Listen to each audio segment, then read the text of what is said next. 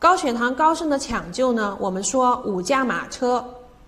首先呢是补液，并且是非常迅速、大量的补液。一般前两个小时呢，我们可以进到两千毫升左右，全天的入量大概是在四千到六千毫升。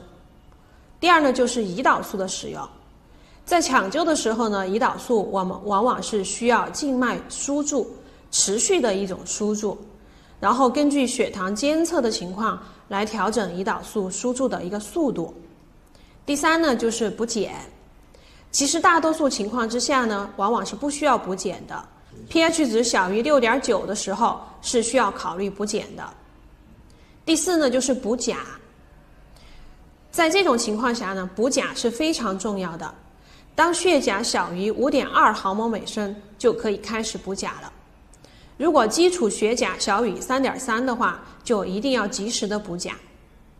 最后呢是磷酸盐的补充，当然大部分的时候呢，磷酸盐是不需要补充的。所以，高血糖高渗往往需要专业的处理。患者在家中如果测到血糖非常的高，应该及时的到医院进行抢救，而不是自行处理。